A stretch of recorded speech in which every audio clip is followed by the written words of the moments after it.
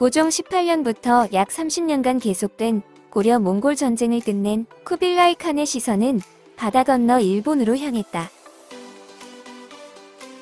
원종 7년 11월 쿠빌라이 칸은 고려 조정에 원의 사신을 보내면서 일본의 입조를 성사시키라고 요구하기 시작했다. 원종은 추밀원 부사 송군비 등을 원에서 온 사신과 함께 일본으로 보냈지만 거제도에서 풍랑이 심한 것을 본 그들은 일본에 가는 것을 포기하고 돌아왔다. 그러나 원의 사신이 일본에 가지 못한 것을 고려가 자신을 속인 것이라 여긴 쿠빌라이 칸은 원종 8년 8월 사신을 고려에 다시 보냈다. 원에서 해동연인이라는 칭호를 받을 정도로 외교술이 뛰어났던 문화시랑 이장용은 일본이 결코 쿠빌라이 칸의 의도대로 움직이지 않을 것이고 그렇게 되면 원이 일본을 정벌할 것으로 예상했다. 그런데 원은 다른 나라를 정벌할 때 기존에 정벌했던 나라의 병력과 자원을 썼다. 결국 고려에 막대한 피해가 있을 것이라 본 이장용은 일본이 오면 복속을 권하고 만약 오지 않으면 그냥 잊어버리는 것이 좋다는 내용의 서한을 원의 사신에게 보냈다. 이장영은 원의 일본 정벌 계획 자체를 무산시키려 시도했다. 그러나 이제 힘이 없는 고려가 이미 일본 정벌 계획을 굳힌 원을 설득하지는 못했다. 고려는 쿠빌라이 칸의 국서를 일본에 전달할 수밖에 없는 상황에 몰렸다. 그런데 쿠빌라이 칸은 국서를 통해 일본이 자신들의 요구에 따르지 않으면 즉 일본이 원에 복속하지 않으면 정복 전쟁에 나서겠다고 협박했다. 고려는 다른 방법을 찾아야만 했다. 결국 고려는 쿠빌라이 칸의 국서 외에 원종의 명의로 된 한 장의 국서를 더 준비하여 일본이 원의 요청에 응할 것을 권유했다. 원과 일본 양국의 분쟁을 막기 위한 막후 교섭자 역할을 자처한 원종은 반부에게 원과 고려의 국서를 갖고 원의 사신과 함께 일본으로 가게 했다. 원종 9년 6월 쿠빌라이 칸은 고려의 사신을 보내 고려의 전함수와 병력을 조사하도록 했다. 두 달 전에 이장용이 원에 갔을 때 쿠빌라이 칸은 전함 1천척을 만들도록 했다. 일본에 사신을 보낸 것과는 상관없이 쿠빌라이 칸은 일본 정벌 준비에 착수했다. 원종 9년 7월, 1년 전에 일본으로 갔던 원의 사신 일행이 고려로 돌아왔다. 당시 일본은 가마쿠라 막부가 실권을 장악하고 있는 상태였다. 막부의 수장호조 도키무네는 그들을 만나주지도 않은 채 후쿠오카의 대제부에서 5개월이나 머물게 했다. 원의 사신 일행은 쿠빌라이 칸의 국서를 전해주었지만 일본은 아무 답변도 없었다. 결국 그들은 고려로 돌아올 수밖에 없었다.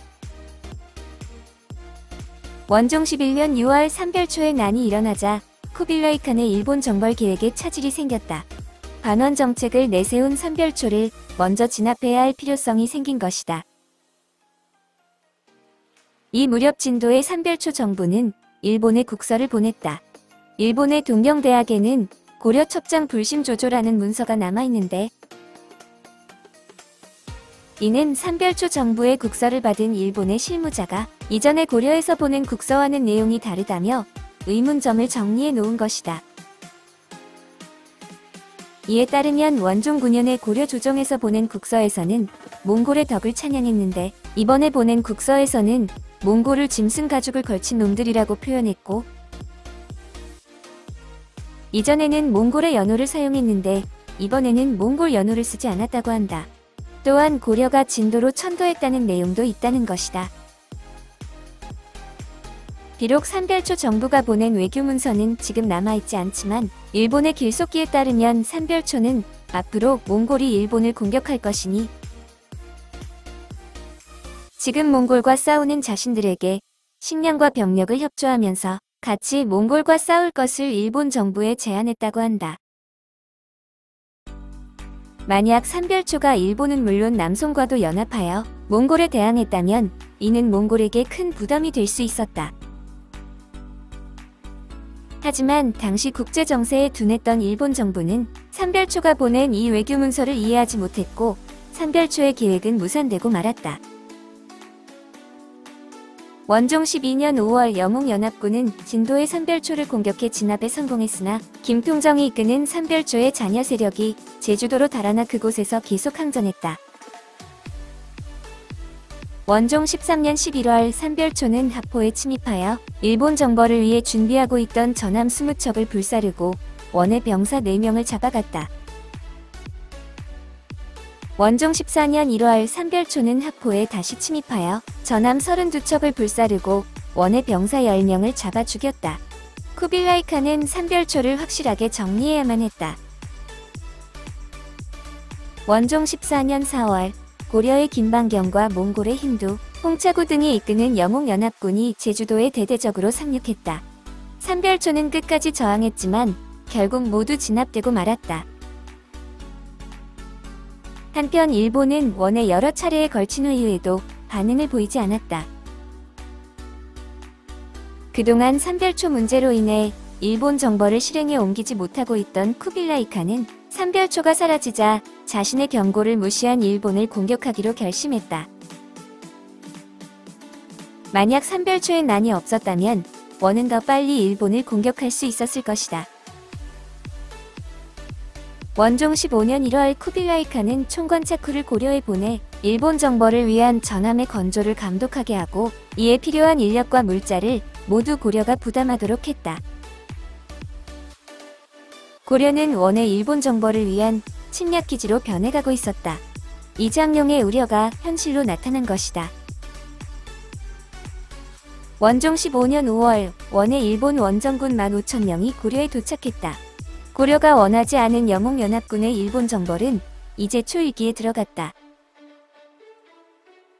충렬왕 즉위년 7월 김방경이 선봉별초를 거느리고 하포로 향했고 충렬왕 즉위년 10월 영웅연합군의 전함 900척이 하포에서 일본을 향해 출발했다. 원군 2만 5천명, 고려군 14,700명 등 총 4만여 명이 참전했는데 고려군 중에서 병사는 8천명이고 나머지 6,700명은 뱃사공과 선원이었다. 여몽연합군은 김방경이 이끄는 고려군의 활약으로 대마도와 이키섬을 점령했다. 이키섬의 산에는 원구 피난굴이라고 불리는 동굴이 있다. 여몽연합군의 학살을 피해 주민들이 숨어들었던 곳이다. 여몽연합군은 생포한 여성의 손바닥에 구멍을 뚫어 끈으로 연결했다가 마지막에는 배전에 묶어 익사시켰다. 영웅연합군으로 인한 공포가 몰고 온 결과는 끔찍했다. 울음소리를 듣고 영웅연합군이 올까봐 자신의 아이까지 죽일 정도였다. 니키 섬에는 예로부터 전해지는 무쿠리고쿠리 인형이 있는데 아이들이 말을 듣지 않으면 무쿠리고쿠리가 온다는 말을 한다. 여기서 무쿠리는 몽골군을 고쿠리는 고려군을 의미하는데 이는 일본을 침공한 영웅연합군을 말한다. 700여 년이 지난 지금도 그때의 공포는 사라지지 않고 그대로 남아 무쿠리 고쿠리는 정체를 알 수 없는 공포와 잔혹함을 말할 때면 반사적으로 떠오르는 대상이 되었다. 대마도와 이키섬을 점령한 영웅연합군은 규슈 본토에 상륙했다. 구마모토의 탑복사에는 당시 상황을 담은 그림인 몽고 순례회사가 있다. 이 그림은 당시 영웅연합군에 맞서 싸운 다케자키 스에나가의 활약상을 줄거리로 삼고 있다. 긴 화살을 쏘며 말을 타고 달리는 병사는 일본군이다. 이들이 노리는 원의 병사들은 갑옷을 입고 목과 턱까지 가리는 투구를 쓰고 있다. 이들 옆에는 원의 병사와 조금 다른 복장을 한 군인들이 있다. 투구를 쓰고 양쪽 귀에 털로 만든 귀가리개를 한 병사들인데 바로 고려군이다. 현종 원년에 만들어진 예천 개심사지 5층 석탑에는 고려 병사의 모습을 엿볼 수 있는 단서가 있다. 탑의 아래면에는 무기를 든 팔부 중상이 조각되어 있는데 귀가리개 등 전반적인 모습이 몽고 숭례회사에 나온 고려 병사의 모습과 비슷하다. 여몽연합군은 압도적 전력으로 일본군을 제압했다. 세계 최강 군사들의 공격에 일본은 그야말로 속수무책이었다. 여몽연합군의 무기와 전술은 일본이 그때까지 경험해보지 못한 놀라운 것들이었다. 특히 원이 개발한 화약무기인 철포는 자기로 만든 폭탄의 일종이었다. 흙을 구워 만든 원형의 포탄 내부에는 금속 파편과 흑색 화약이 들어있는데 폭발했을 때 철의 파편이 사방으로 튀어 사람에게 상처를 입히는 강력한 파괴력을 갖고 있었다. 당시의 주력 무기였던 활도 큰 차이를 보였다. 일본군이 사용한 활은 2m가 넘는 장궁이다. 반면 여몽연합군은 1m 정도의 단궁을 사용했다. 무속불을 활 양쪽 끝에 붙이고 쇠신줄을 잘게 찢어 활 안쪽에 붙이는 단궁은 탄력성이 뛰어나서 사정거리와 관통력 모두 장궁을 압도했다. 여몽연합군의 압도적인 전력에 일본인들은 모두 당황했고 일본의 천황은 전국의 여러 신사와 사찰에 가서 기도를 올릴 뿐이었다. 그런데 원의 좌부 원수 유복형이 활에 맞아 부상을 입는 등 여몽연합군도 피해가 있었고 병사들도 피로가 쌓여 상륙했던 군사를 물려 배로 돌아왔다. 그날 밤 갑작스럽게 폭풍우가 일어 여몽연합군의 전함들이 높은 파도에 휩쓸려 부서지거나 전복되었고 고려의 장수 김신이 익사하는 등 여몽연합군은 큰 피해를 보았다. 일본인들은 그것을 신성한 바람, 즉 가미카제라고 불렀다. 여몽연합군의 제1차 일본 원정은 이렇게 끝나고 말았다.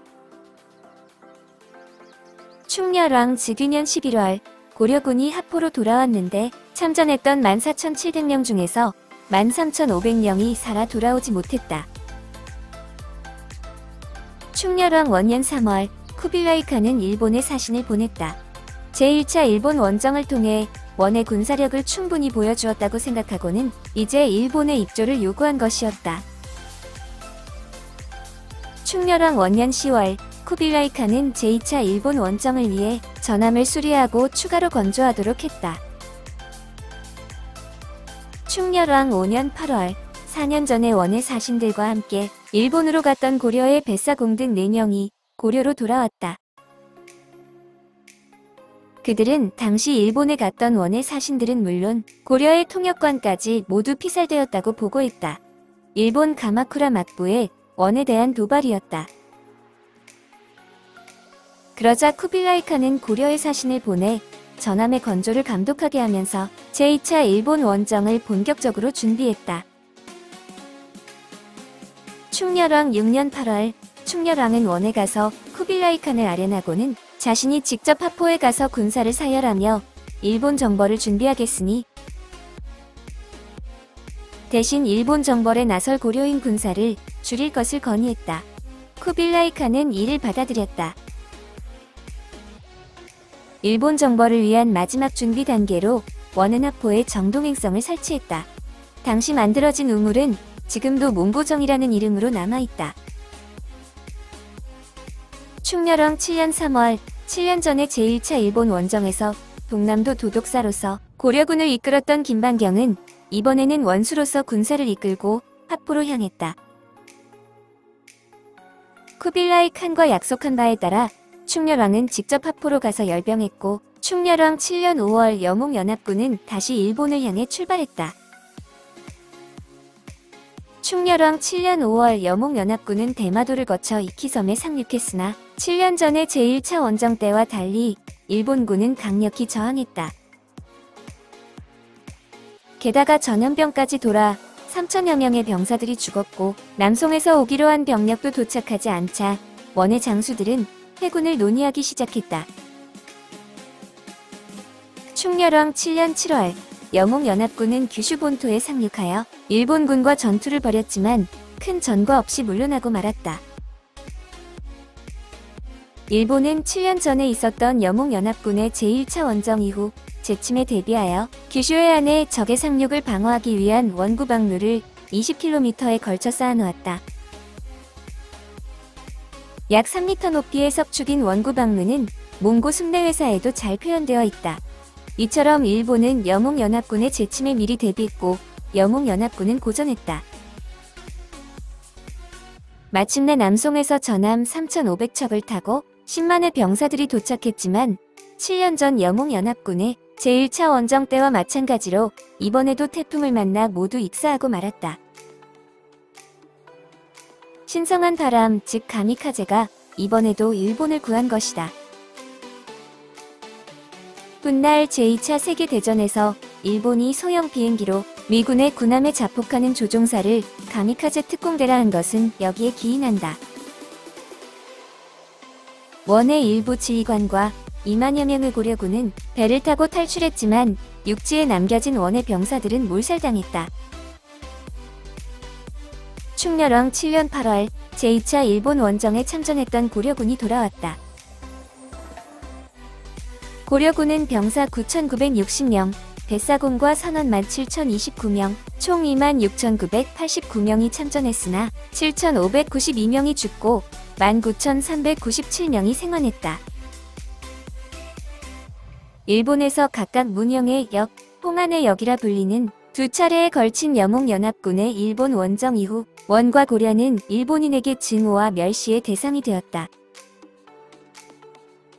일본은 두 나라 중에서도 특히 고려를 더 노골적으로 비하했다. 일본은 고려를 원과 하나로 인식했을 뿐만 아니라 원보다 더 나쁜 이미지를 고려에 부여했다. 그리고 이때 형성된 공포와 증오는 한반도에 대한 적개심으로 바뀌었다.